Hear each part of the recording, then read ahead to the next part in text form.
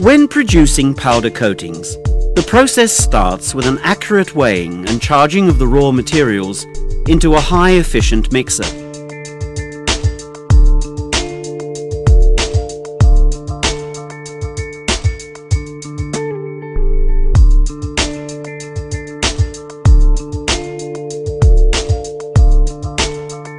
A powder product may consist of 10 to 15 raw materials, where the binder represents the main ingredient.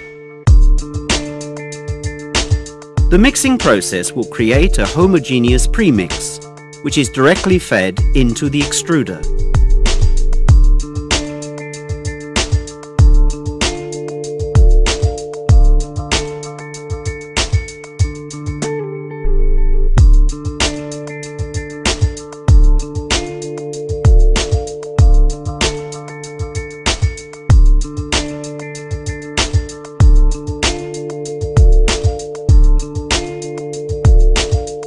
During extrusion, the binder will melt and pigments, extenders and additives will be dispersed in the binder to form a homogeneous, high viscosity extrudate at a temperature of approximately 110 to 140 degrees centigrade.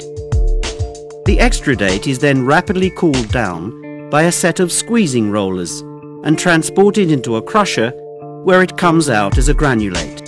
The granulate is then transported to the grinding system for milling. The milling is done by means of a high-efficient air classifying mill, which grinds the granulate into a powder form. Combined with sophisticated air classifier, cyclone collector, sifter and bag filters, this enables optimum particle size management. Samples are regularly taken during the production process for quality control. Extensive testing of the powder secures a high quality for the end product. An important parameter for powder application is the particle size distribution of the product, which can be measured by a laser beam.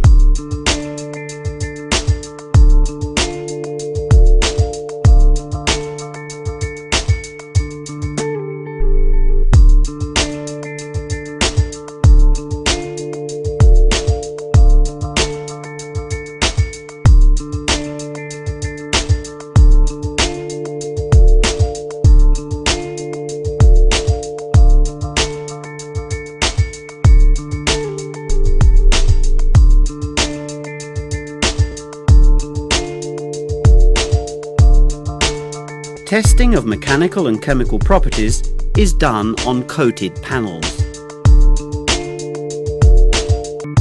Computerized color control is very useful when evaluating colors and color differences.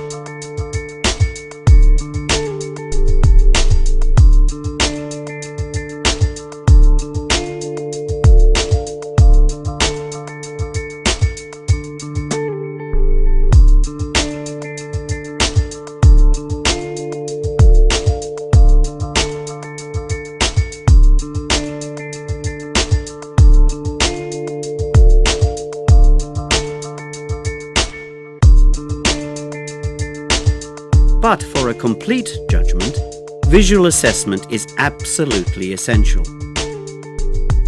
Altogether, the control procedures ensure a consistent batch-to-batch -batch product quality.